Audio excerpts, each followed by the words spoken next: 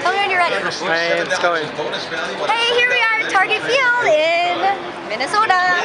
Now approaching giant bronze With The Blaze Orange Twins cap at the gate tonight. Visit tonight's charity sports